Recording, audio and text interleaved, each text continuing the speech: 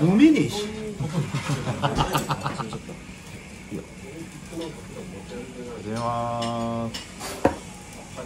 今ちょっとお客お客さん来るの待ってますんで。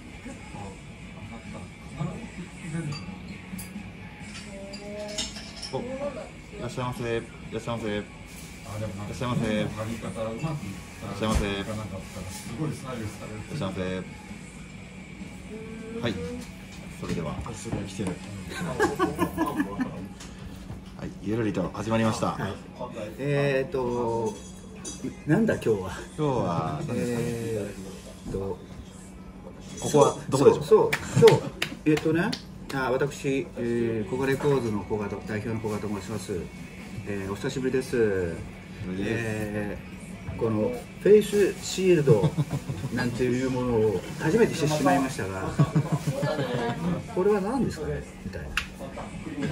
これはまああの飛沫感染防止のたそうめだね。のギアギアニューギア。ですえっ、とこれは誰がしてんの？えこれはねまだ誰もしてなかった。です古賀ミルクバーの人がしてるわけではない。あのそうもらってきた。もらってきた。もらってきたって言ってまネタ？ネタです。ネタですね。なるほど。あのーまあそんなネタをかましつつ今日の、えー趣旨というのはえーまああのー3月あ4月からか。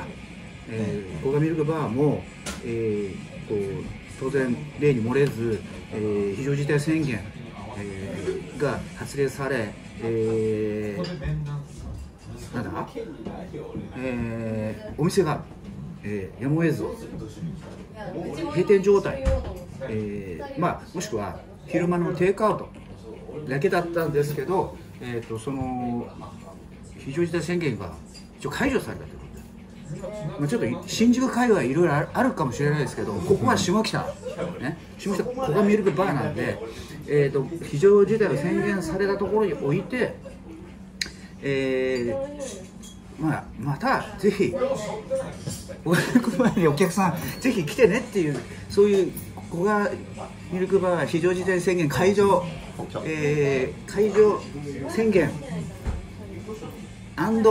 えーじゃあ古賀ミルクバーで今何が美味しいかっていうのをちょっと僕で僕らあ僕うちのスタッフ、はい。えー無妻男性4人で、えー食べながら、えーまたお客さん戻ってきてねを編を戻ってきてね編。ですね。なんかよくわかんないですけど。試食会そうです。かねあの何を言うかというと要するにこういうことで飲み会をしましょうというノリで楽しくやれたらいいね。編みたいな感じで、はい。あのやりますんで、あのごゆるりとぜひ見ていただければと思っております。あの当然ご飯食べながらでも何でもいいんですけどあの見ていただければね。でそう明日まあまだこれ宣伝もう宣伝した方がいいんですけどどんどんどんどん多分数字落ちるかもしれないんで、うんで明日は明日でねあのコガレコーズデイっていうここでね僕が一日店長もやりますんで、まあ、その時にも出すような、えー、こうあのコガミルクバーの自慢の料理を試食しながら、えー話を進めていこうかと思っております。ありがとうございます。はい。はい。ではえっとそうですね。お料理の方を。えーお願いします。ぶっちゃけこのベースなんとかシールドでご飯食えないですよそのとああの顔でかいから俺。あありがとう。ございます、はい。最近ねこれうまいのよ。やばい来たマジにやばい来た。これですね。アイガモスモーク。うん、あのいろんなところで僕はアイガムスモーク食べてるし当然あの、ね、出来合いのものをいろいろ僕も買ったりしてして食べてるんですけどえアイガモって何なんですか？アイガム知らないの？は鴨と鶏肉のあのいわゆるこう雑種っていうんですかね。要するに鴨だけだとこれ僕のあの個人的意見じゃないけど鴨だけだと多分ちょっと臭かったりとか自然なものだったりするんでそこにあのなんだ、えー鶏肉を加えればもっと食べやすくなるっていうのが多分アイガモななんだと思うんですけど違います？多分あのご意見。そういう感じな気がします。するよね。いハーフハーフってことですか？そうそうそうそう。ハーフハーフ あの要するにあの細かいな的なそういうことですイノシシ鍋とかじゃなるほど。あれもあのイノブタなんですよ。イノブタですねそう。なのでえっ、とこれマジうまいんですよ。あの手軽に食べれる。のかな？あのこれ一皿で500円か400円だそんぐらいですね大体。だから、えっと多分、えー、一人で食べに来ても食べれるあのほらいわゆる立ち飲み系立ち飲み屋さんとか一人で一人飲みのところでも食べれるようなあのメニューだと思います。当然ビールにも合うしワインにも合うと思うんだけどあのこれでいただきたいと思います。出したう何やこれ。まい、マジであのって感じです。いい意味で柔らかいいい意味でまったりとした味がする。いい意味で。いい意味大事ですよ。あ来ました。生マヨです。ありがとうございます。あすいませんあの店長。15円です。あの 今日二日酔いだそうです。まあ全然、まあ、よくありがちな人生によくありがちなね。ありがちなそうです。けどしっかり作って。るでもあのこれも今後の多分定番になるんじゃないかと。だって実際うまいもん。これいやこれはうまい。うまいだろうな。ちょっとじゃあいただきます、あのあの画面越しにいたよだきます。くよくあるオードブルにも入ってるじゃないですか。あのちょっとそれとは一線を画した僕の中では味がする、うまい。うん、うまいよね。なんかこれやっぱ濃厚ですね。だよね。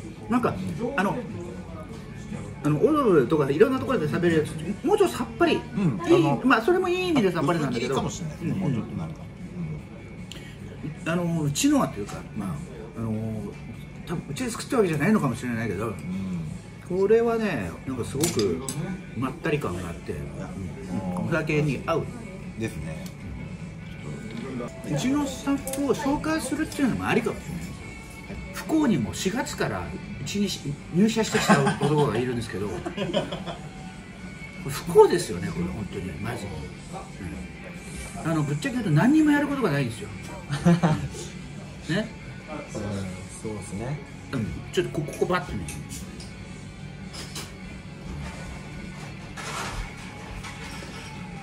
こんにちは。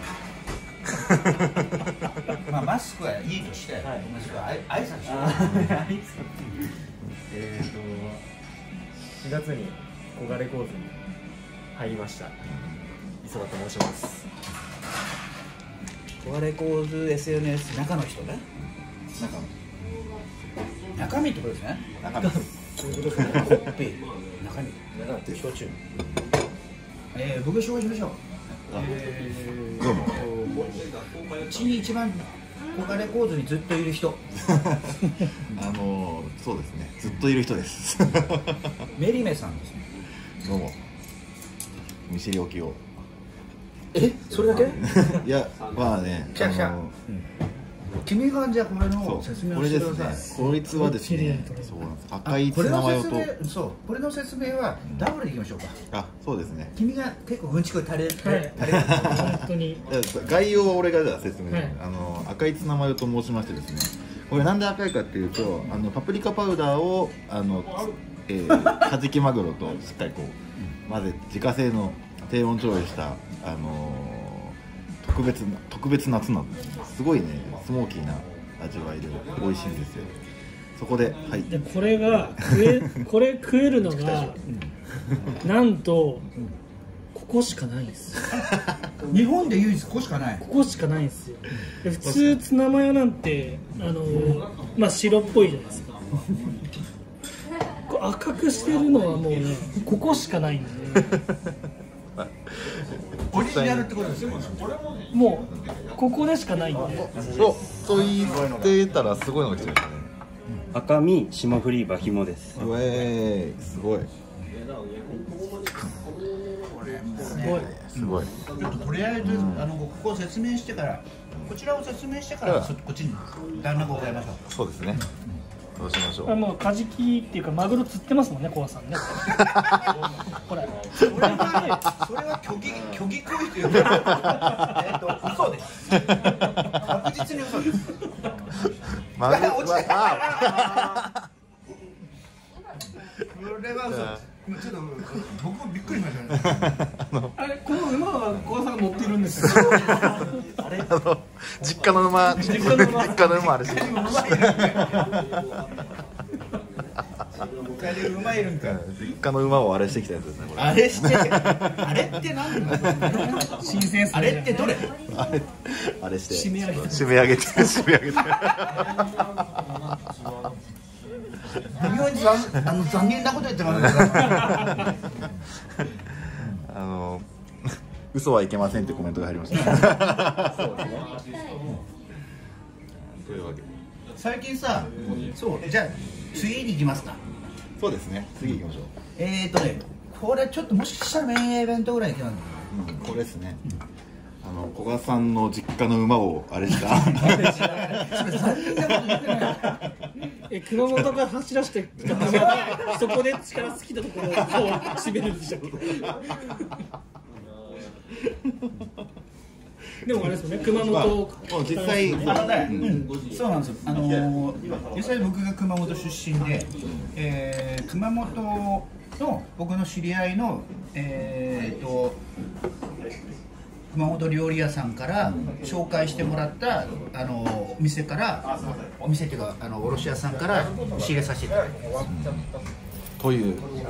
高級高級馬刺しです。当たり前だからもそう。あのうちのミルクバーのメニューの中であのこれだけ原価割れしてます。実はでもさ真面目なんだよね。一応ね。いやマジでそうですね。ね。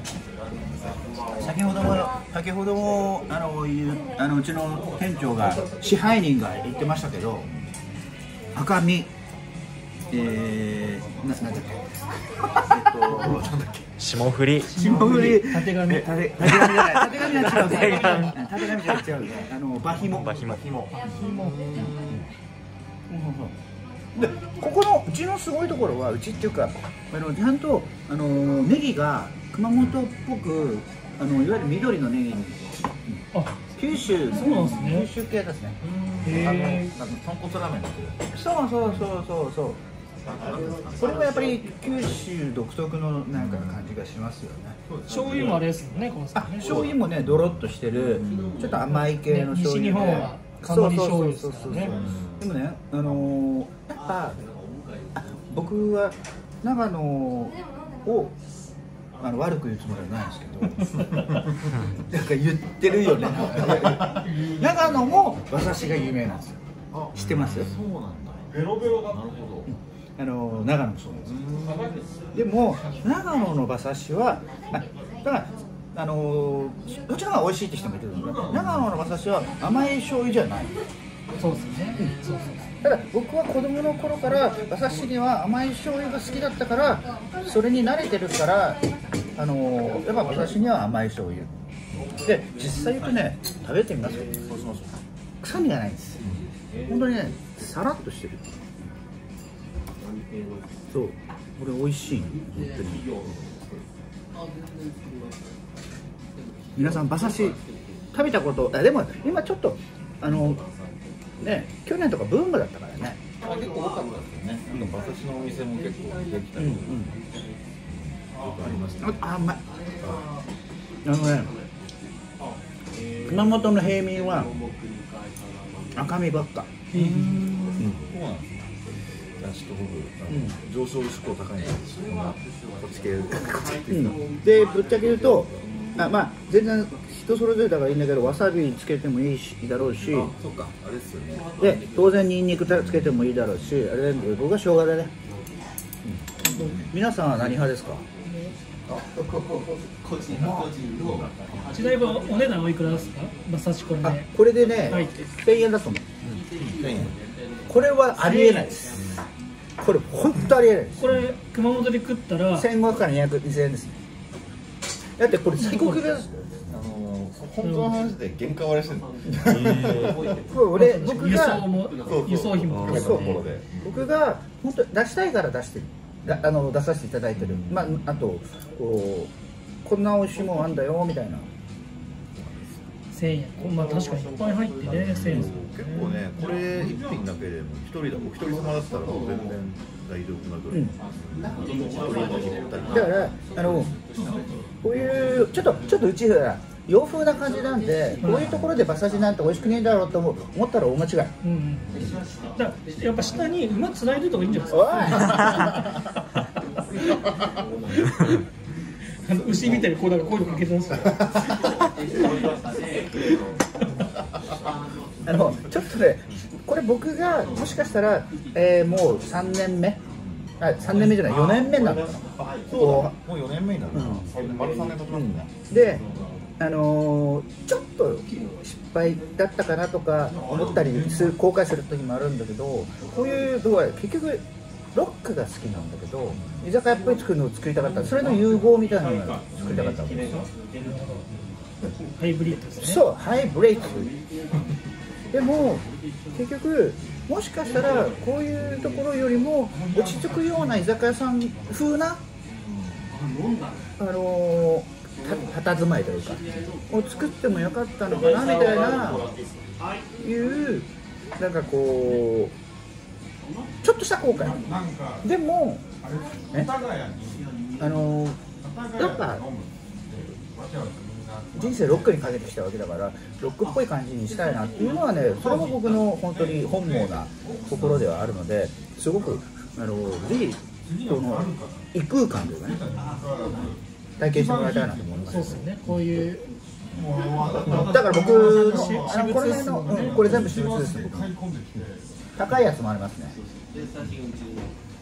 高いのはねどれだったかなマイクラ高いですよね、うんあれまあまあまあ多分セックスピスが一番高いですよ、一番高いこれかオステルダクイーンのシングル、あとあれあれ地味に高いえベストバンピツああそうだウェリーレス・オブ・セックス・ピストこれも高いこれは高い高い高いってなんかなんか変ななんかこう貴重な貴重ごめんなさい高い高いっていう言い方でちょっとあのやらしい言い方ですね一個せ宣伝というかしたいんだけどえっ、とまあ言うてでもなかなかうちも厳しいわけですよ。あのここもやっと再開したわけだしでうちのレーベルねレコード会社もうこんな状況でなかなかリリースもできないままならない状況だったりとか。キーちゃんキーちゃんもじゃんあんま動いてね動いてないってことはねちゃんとやってるからねなんだけどあのなかなかあれでちょっとなんかで面白いのがそのくせシェルターには協力し T シャツ作ってるって意味のわからない話があるんですけど。まあ、まあ、まあ実家なんで全然恩返しとして全然いいし、あのー全く何でも問題もないんだけどあれも無事終わりましたし。あこれこれ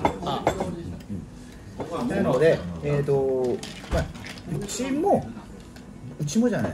小川レーベルもちょっと T シャツなんて作ってみようかなみたいな。みたいなノリでちょっといろいろ作ってみたと近々公開しますけれども、えっとまあぜひちょっと結構ね頑張ってたんですよデザイン。二人であのー、クソです。そう。あのその T シャツだけがちょっと物足りないなって思う人が多分大半だと思うので、えっ、とここのドリンクチケットつけたりとかここでここだっていう意味よりもドリンクチケット小型チケット。えー、とどんなチケットかというとここでもドリンク変えられるし、えー例えば来たるべき、えーライブハウスもしくは、えー会ホール会場も含めて僕を見かけたらそのあのバッチ系にするのねバッチリしますそのバッジを出す出してくれれば僕がおごります。すごい。そう。あのー、なんだろうな、うん、こうもう本当だから下北でとかで見かけて「まだ!」って出せば持ってくれるしもし小川さんをなんか結構なんだろう麻布とかで見つけて見かけたらもしかしたら。絶対ねえんだよ六本木にはたまにあのスペシャル行ったりとかさある。六本木行ったらケバブだから僕自分で1000個ぐらい作ってバカかお前。1200だからだからだからあのー偽装ができないようにバッチリしました。でも僕あの事務所で作れる。うるせえなそうそう。米田ルそートうとかそうででえっと中華地で、えーそのバッジを持ってい持ってればえっとまあここでもね飲めるしであのここじゃなくても僕にライブハウスとかで会った時に「古賀さん持ってますよ」っつったら、えー上限ありますけどおごります？すごいえーシャンパンはおごりません。これ1個で。これ5つぐらいだったら。シャンパンいくらすと思って だグラスね。グラスで何かしらまあまあでも、えー僕と本当に会ってそれを持ってた人はあの1000円以内だったらおごってあげるよごい。1個じゃ1000円だったら結構お得。1000円以内ぐらいで。それで T シャツ買ったらテレビそう T シャツとセットみたいな。ごめん。それだけじゃねえんだ。一応今考えてるのはプラスあのほら7月1日から最近ねちょっとうわーっと思うところが、えーコンビニの袋が廃止されるじゃないですか。廃止じゃねえや。有料化。されるわけじゃないですか。だからまあ最近多分主主流になるなりそうなのがエコバッグ。だからちょっとエコバッグも作って T シャツとあの申し訳ないけどかっこいいかかっこ悪いか置いといてでも俺の中でかっこいいと思ってる T シャツエコバッグを、えーセットドリンクチケットドリンクバッジをつけて、え今決めちゃいますお。安い。のところを？ー、3500円だよ3500円だよ。まあ3号ですかね、え3号寄ります。でだ誰もあの人気バンドのコラボでもなんでもないんでどんだけ出るかはわからないけどでもなんつうんだろうな。ちょっと、えー半分面白がってもらいたいしそれが僕はエンターテインメントだと思ってるんであのなんかねえー購入してもらえればなとは思ってちょっとちょっと作ってみました。結構ね一番 T シャツには時間かかってる。かけましたね。あのいや頑張りましたよねあれ？これで画像見たら笑うよ。特にあって古賀さんのことを割と知ってる人は多分結構本当に笑えると思う。俺よく生きてるな T シャツ。みたいな。あそれでしょ題名。俺よく生きてるなャあよく生きてるなっていう。そうしましょうもしくはこれから行きたい。ツそう。そう。生きたい T シャツ。大 T シャツ。まだまだ死なない T シャツ。古賀イズノット Z T シャそれですな。ツ古賀イズノット Z T シャツ。あいい。あままだ来たなんかは。あ。来ましたねこれ。チキンでチリマヨチキン。来ましたこれ本当あの今ミルクバーの一押しらしいね。うん。ハイカロリー。そうハイカロリー。さ若い。さっきはローカロリローあの押してましたけどね。ハイカロリー。ただねめちゃうまいです。いや知ってる。うん。マジでこれはもう若い子まあ僕らもうねそうそうアラフォーですけど。まああのまあでも本当にでもねもうもうもうパクパクいけちゃうぐらい本当うまいですこれ。じゃあ。もう一回これなんてやつですか？チリマヨ。チキ。ンチリマヨ？チリマヨチキ。ンチリマヨチキ。ンえっと。写真。だけ撮っていいですか？写真撮ってください。鳥を鳥をどうして？ですかこれ鳥を鳥をあれして。あれするな鳥あれしてあげて。て揚げて。揚げて。それをあのチリチリソースでちょっと辛いんですか？じゃあもしかして。ちょい辛かな。あちょい辛。でも絶対多分ね美味しいと思うよ。甘い感じで。あのちなみに言うとミルクバーの唐揚げめっちゃ評判いいんですよね。あーうまいね。あのね酢の唐揚げもうまい。酢っていう今何にもねベーシック。ベーシックなやつを。ごめんね。昭和的な言い方。酢の唐揚げ。酢唐揚げ。スカーラ揚げ美味しいしでそれをさらにこうチーマヨであえる。炒めて炒めね。炒めんの？違うでしょ？あえてるだけでしょ？あえるだけ。ああえる。炒める。ああえるだけ。あえる。うまいんですよこれマジで。じゃあちょっと、はい僭越ながら。ねでも絶対若者には若者ライフだね。若者ライフですね、これをこうして。それがね俺はねちょっと意味わかんないんだけど多分若者好きなこれをこうしてこうです。なるほどなるほどね。うんうまっ。でもでも僕の中ではまあ脂っこいっていうかこれもさっぱりしてんだけどこうの中で多分一番あのーハードルが高いけどハードルが高いって言ったらね多分食ったら絶対うまいんだよ。まあそうですね。でもやっぱりねこうちょっとハーブ感がこうってあって。おおハーブ感。きましたね。ハーブ感。多分ねこうフライドオニオンにハーブ塩があかかってるフライドオニオンが入ってますか？入ってましたうちなみにこれだとお酒は何がいいですか？酒だったら僕的にはハイボールですねこれ。あこれだと、なるほど。ハイボール持ってウェインのやハイボール持って上になる。俺はね言うて結局最終的にいや最終的に言うとあっぺ？でもでもあのご存知か全然わかんないですけど僕ワインが好きですね多分ワインにも絶対合う。そうですね小技は結構ワインに合う系チョイスが多い、僕は結構あのハイボール派なんで、うん。ハイボールとかホッピーとかこう系なので、それ系なのでね。それ系なんで。い初めて食いました。やあ食ってる。うまい。うまいくないですかこれマジで。初めて食ってんですか？散々言っといて。散々言っといて。初めてあの分かった。えっ、とね唐揚げがあって、そこにちょっとしたいいい肉調の、あのー甘いタレがこう絡めてあるみたいなチリソースでもないの？これあエビチリみたいなチリを想像するとちょっと違うかもしれない、あのーもっともっとスパイシーななんていうかちょちょっとおさんなうん。味ですどちらかというと。これうまい、うん、これうまくないですか？うん、だから結構カフェ飯系かもしれない。そういう感じなん。か、分かった分かった。うん。言わんがすることは分かった。ちょっと不思議な味がなんかちょっとエスニックなな。ん。かまあ僕は1個でいいですけど。うん。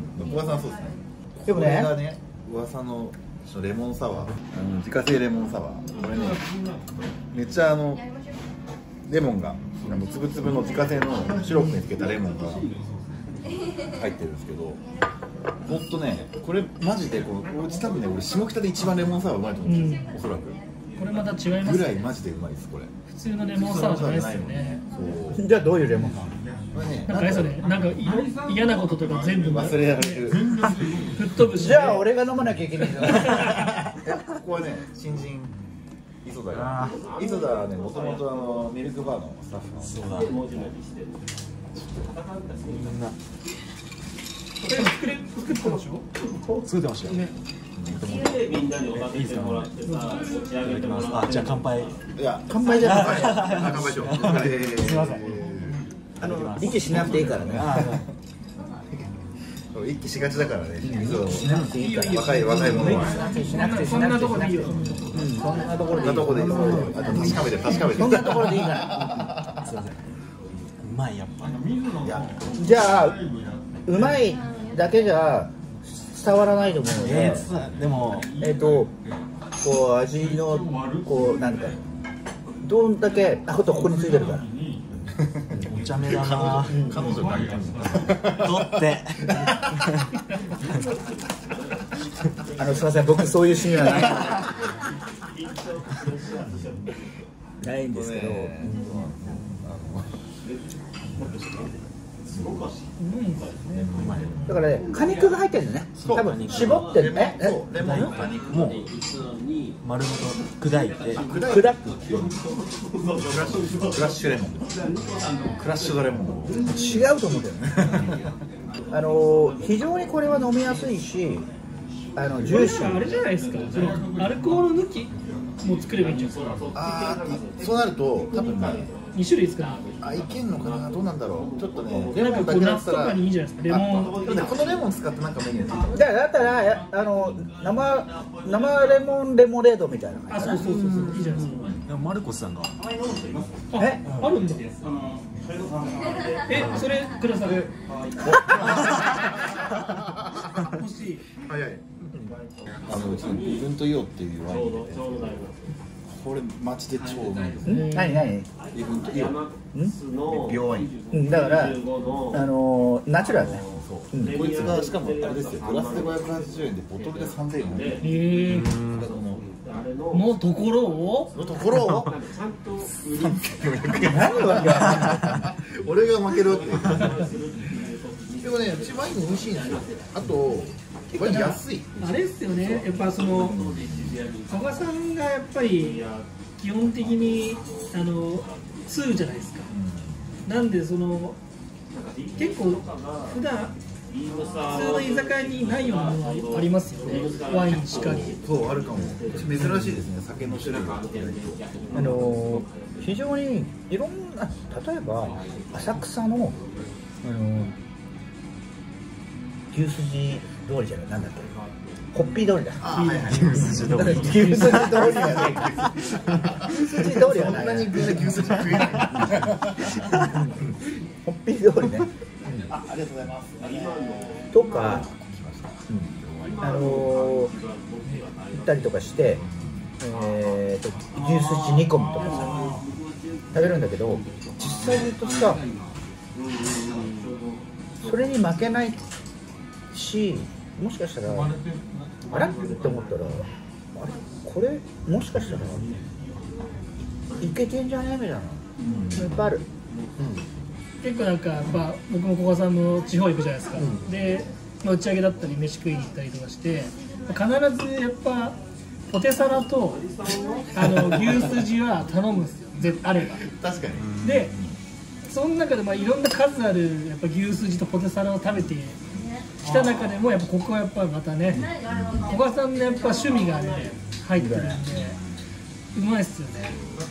ミルクバーの牛すじはマジでううまい。っす本当に今日ちょっとないのが残念なんですけど。だからポテサラもうまいんですよ。ポテサラうまいねうんあのねただねポテサラはポテサラでいろんな種類があるから。そうですね。あの派閥めっちゃありますもん。派閥派閥ある。派閥ある。確かにここれがねあのー洋風こっちはね多分洋風のポテサラなんですよ。はいはいはい。ここは。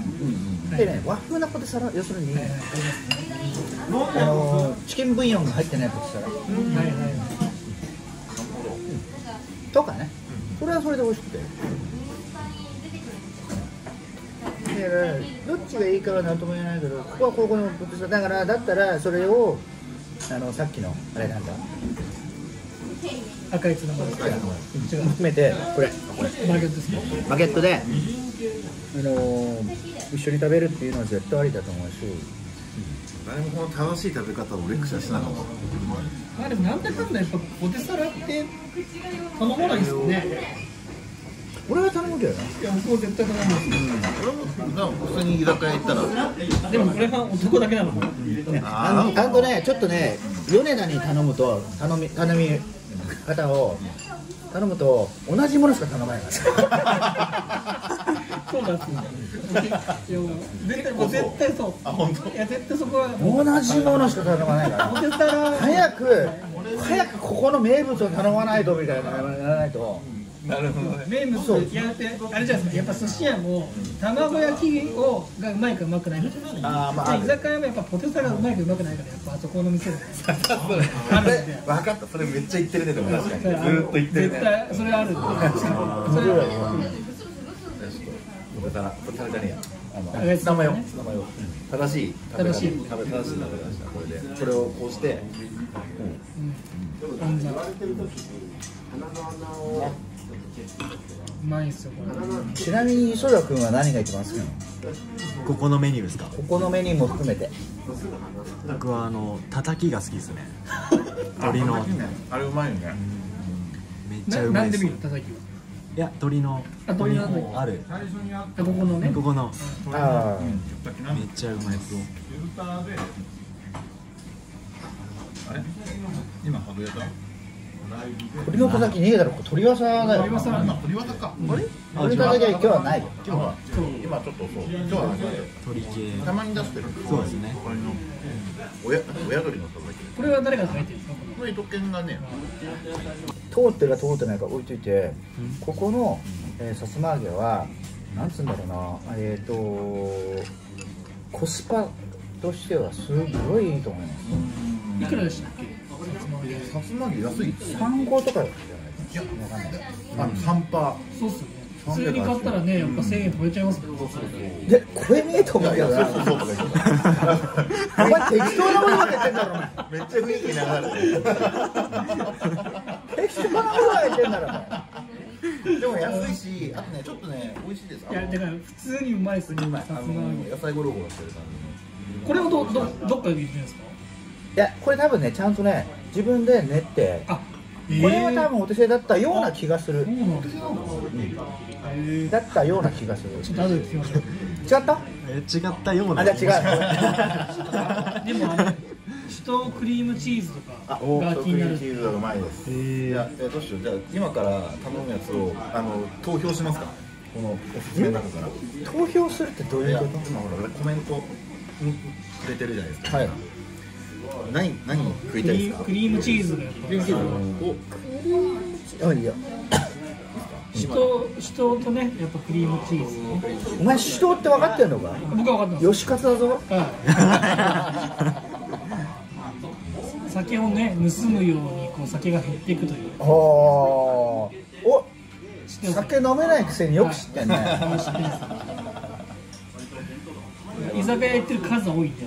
あそうね。打ち合わせなりこちらいろんな打ち合わせ打ち上げに何も飲まずにいる男。だからもう食べ物で結構飯放題えじゃあクリームチーズ。にしますですかね。この流れだと。はい。えもうそれもいいんだけど卵焼きとかまあいいか卵焼きは美味しい卵焼きはもうね確実にうまいんですけどどうしよう。あこういうそうメニュー。いきますかじゃあ。あいいよ。卵と？もうクリームチーズをね見し見してあげるだけ見せてあげないとちょっとあれなんで。じゃあそれちょっとパンでくださいじゃあ。ちょっとあの大丈夫？口があの、うん、ろれつが回らない。あの僕の前にろれつが回らなくなるっていう。大丈夫大丈夫？大丈夫。大丈夫です。大丈夫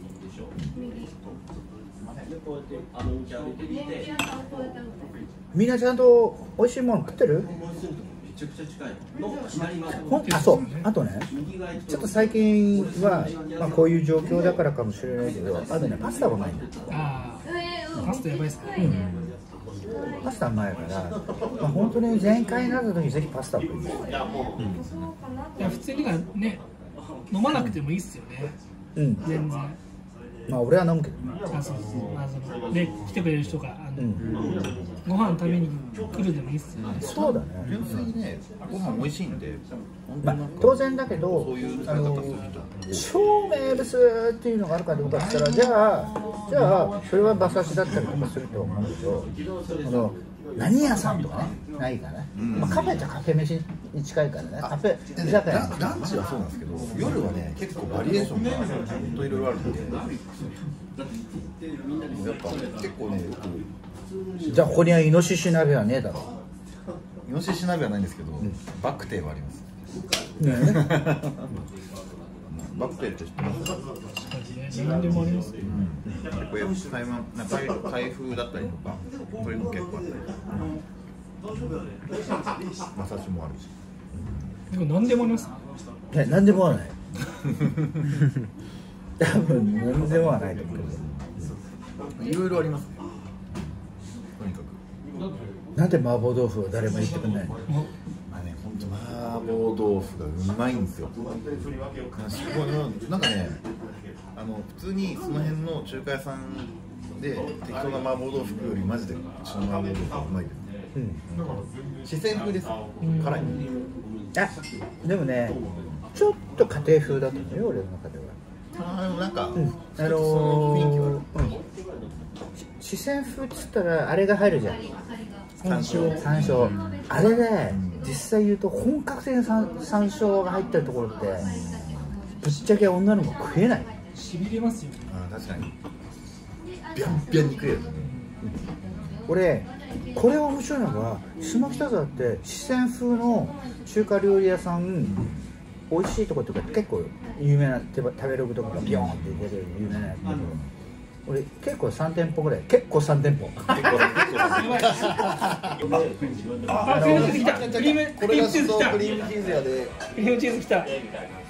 すごいこのあと30秒でクリー30ムチ秒でーズギリギリ来た。素晴らしいね。はい。おしいただきます。いただきます。クリームチーズね。甘くないクリームチーズね。あーうまいこれもう首都ザマジ今日なんつうのあのクリーミーな全くあの僕の中ではあの解析ができてないような気がするめっちゃうまいです九八じゃあまあとりあえずよろしくお願いしますってことでバイクもあるよということでバイバイ今日終わんなかったら笑うはいよかったいはい